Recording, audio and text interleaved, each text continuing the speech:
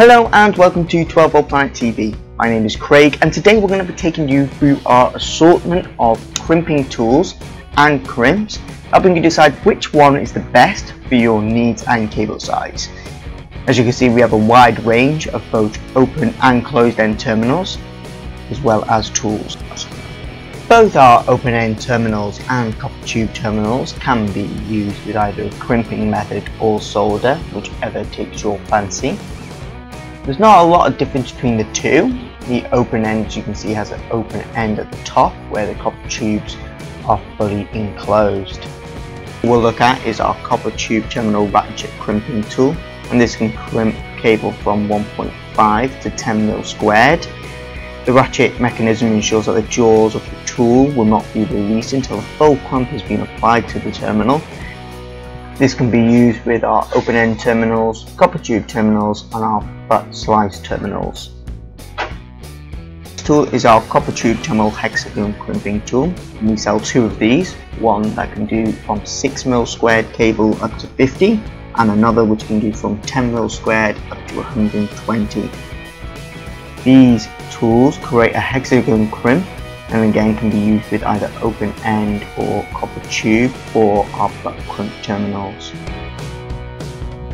The next tool on our list is our heavy duty sprung loaded terminal crimping tool. This tool is a great low cost option if you're planning on doing only a few crimps and you want a solid and secure termination. This can do any size of our open end or butt splice terminals and our copper tube terminals. The first tool we're going to look at in this video is our terminal ratchet crimping tool and this is used for our smaller end cable and terminals. Very simple to use and we'll show you how.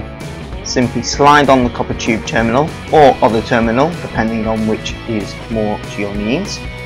Find the size that you're after on the jaws itself and use the manual release to release the jaws.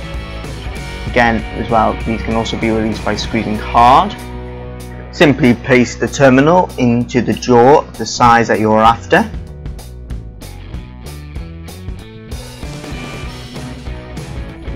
Squeeze hard. The tool will release once the full crimp has been made and it's that simple. As you can see, it creates a strong pinch crimp on the terminal, which will hold the copper wire in place. The next tool that we will look at is our hexagon crimping tool. These feature a rotary dial so you can select the size of the cable that you're crimping the terminal onto. They are very nice and simple to use when selecting the size.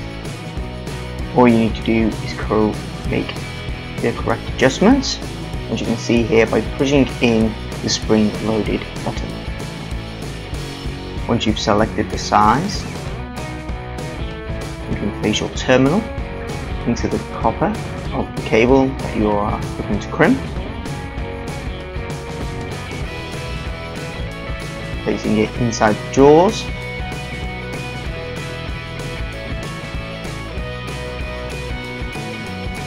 and then squeeze until you have a full lock. These won't release until you pull them apart. And as you can see, they create a hexagon crimp. Quite often what you will find is you have enough space to create a double crimp with this tool. And we always suggest doing so just to make sure you get a great crimp. very neat, very tidy and very easy to do. Our next tool is our heavy duty sprung loaded crimping tool. Simply pull up the punch, insert your copper tube terminal. As you can see, the punch will hold it in place and the hand lever on the back makes moving the punch up and down very easily. This can be used with either a vise or a hammer, whichever is easiest for yourself.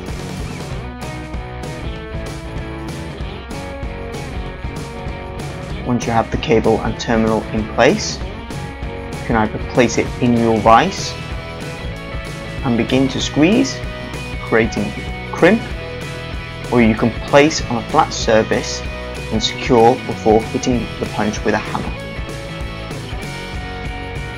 As you can see, this creates a very neat punch crimp, which is very strong and tidy. And there you have it, our selection of crimping tools and copper tube terminals, all of which will be linked in our description below. Thank you very much for watching, we hope you've enjoyed this video. If so, please feel free to subscribe and give us a like. Otherwise, enjoy the rest of your day. Thank you again.